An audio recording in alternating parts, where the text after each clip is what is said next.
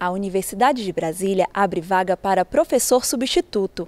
O candidato deve ter graduação em turismo e mestrado em áreas afins como geografia, arquitetura ou história. As inscrições vão de 7 a 18 de janeiro e devem ser feitas na Secretaria do Centro de Excelência em Turismo, na UNB.